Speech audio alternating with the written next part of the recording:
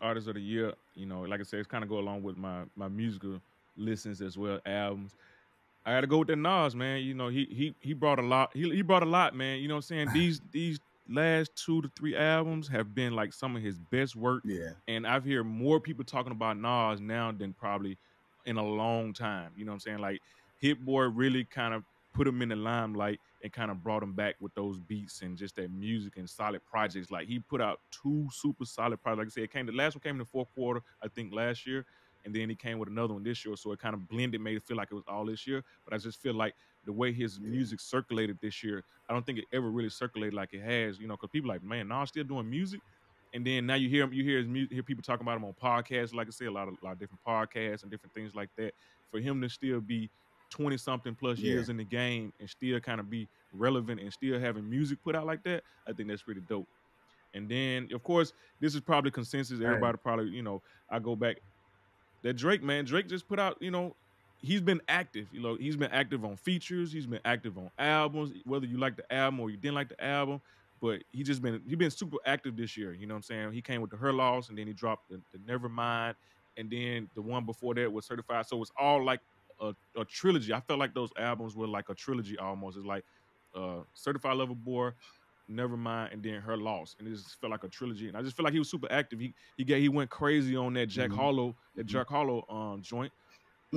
I forget the name of the song. Yeah, Churchill Down, bro. He just Churchill he murdered. Jack on that joint, bro. Like almost like almost a, a verse of the year could almost, bro. He like he featured, bro. He he murdered Jack on that joint, bro. Like Hey, listen. So funny that you bring him up. I did not bring him up, but for hottest artist and album, hey Jack, hey, that's he Hey, I is, told- he was he, hey, that why I he was fighting his way year. I in brought there. up the Jack album. He's like, oh man, ain't really listen to. him." I'm like, man, but Jack, you know, what I'm saying? I think the, the previous album was better than his last album because I felt like he trying to be more. You felt like the last one. You felt like this Uh-uh. last one was better. oh no no no! Yeah, the, I the like the first one was great. The first one was good. It was really really good. I feel like that one. It better ain't touching this the one. I felt like it was a little low in the beginning of the album of this one. It was like a little bit low, and then it kind of picked up more more midway to the end. Like you know, but the first one it was just like the first one it just like it Okay. flowed all the way through. But this one it was like the first three or four five tracks Yeah. it was kind of real low, and then he kind of got in. He kind of got into it when the um. It was that Lupita, Lupita. I forget the name of the track. I gotta, I gotta like check, I gotta check him up. stepped in there, I gotta started- check him out because I and then remember, man, this had to be So I think about the last five years ago. I remember no, he no, was no, no. uh, That's right. because you know I follow a lot of engineers, like music engineers and producers too.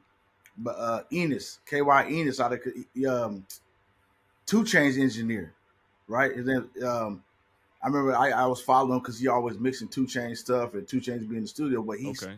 he, I remember him posting Mhm. as now Jack Harlow, but always just white dudes in the studio. He was like, man, he's next up, he's next up, and I was, you know, it was like, man, it was this dude, and he turned out to be Jack Harlow.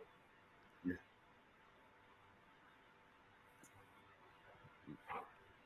hmm Yo, I remember listening to Jack Harlow back in twenty. It was Mm, either okay. twenty seventeen or twenty eighteen. Um, Drama brought him Oh, on yeah? to Sway in the Morning Mhm. for him to do a cipher. He did the Five Fingers of Death there, Yeah, and he killed it. He killed it. Yeah, He, yeah, yeah. um, It, it was dope. It was dope. But um, Yep. yeah, he's been around for a minute, and he's been yeah, he was in that been Uzi shadow. really I think that was a you know problem. He was, saying? he was they, you know, because Drum done got Uzi, so he was kind of like in U- he was kind of like in Uzi's shadow, but he had to find his find his lane. I think he kind of found his Mhm. lane, and then he kind of started making music. And yeah. then he put that put that Drake And wh- feature on there, and Drake just went crazy on that Churchill down on him. Just went crazy. Like, like I think Drake probably Drake probably got three extra minutes on that joint than than Jack did. You know what I'm saying? Like he's just like he's just like like you know how He sometimes you know how. Drake He do, do Ross he like Ross did. will get like thirty, he get like forty five Yeah, seconds on the yeah. track, couple bars, and then Drake will come by like on that what was that um, Gold Roses I think. Yeah, yeah, yeah. Like Go Lemon Pepper yeah. Gold Rose. Lemon Pepper. Oh no! Oh, Yeah, it was birthday like lemon pepper. lemon pepper. It was one of the Gold two, Roses or it may have been he, both he'll do that to Ross. He'll he'll let Ross do like you know a minute, and then he'll come back. He'll do like Yeah, yeah, four minutes behind Ross. Yeah. Like like why you do Ross? Like I bet Ross like why you do me like that, bro? Go put four minutes Yeah. behind me. He did the same thing to Jack. Hey, one Jack thing I want like to say about Nas though, I know y'all go right Nas. I feel like. Nas is like the know what I'm only one But you know, from so I our just era, like right? When we was young, That's still doing music, and it's like high level music. You know, I know, you know, it always the, debate of you know, rappers being old, right? And it's a young man's game. And then you have Jay Z come out saying, "Why is it okay for rock and roll artists to still be doing this at 50 plus, right?" And now you, but you, we have Nas to where I'm like, man, I remember Nas. We was kids, not, and he's still putting out music, and it's like, and it, and it's and it's not music Yep. that, you know, what I mean, like some older art. There, there is older artists doing music, but I feel like they try to cater to the young crowd a lot. And it's like Nas is like, nah, yes, but Nas is still speaking to us, you know?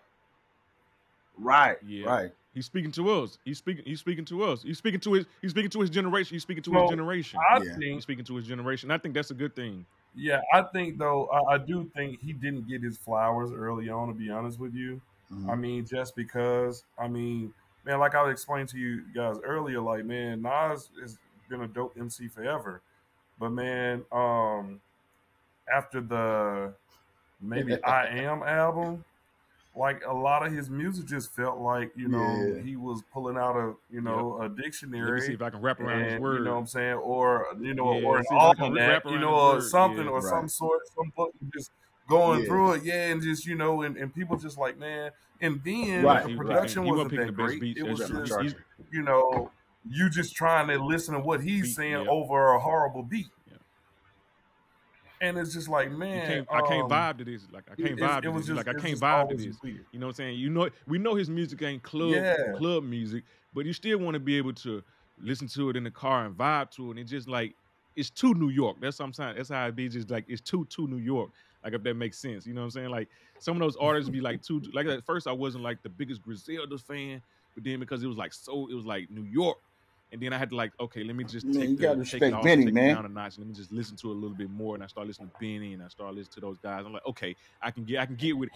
You know, so I can get to it. Like I can get, I can get with it because you know what I'm saying. They got the bars and then the beats a little bit. You know, sometimes they might dr- drop a a, a, a down south beat, it- a beat in there. You know what I'm saying, where you kind of relate to it.